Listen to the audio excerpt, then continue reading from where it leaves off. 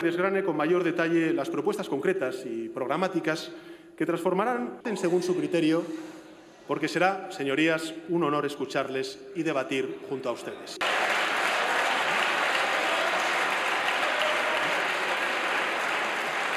Como consecuencia de que existe un conflicto político que tenemos que resolver, les anuncio que vamos a crear una mesa de diálogo bilateral entre el Gobierno de España y el Gobierno de la Generalitat de Cataluña. Lo vamos a crear, vamos a debatir dentro del marco constitucional y vamos a poner fin a esta confrontación territorial.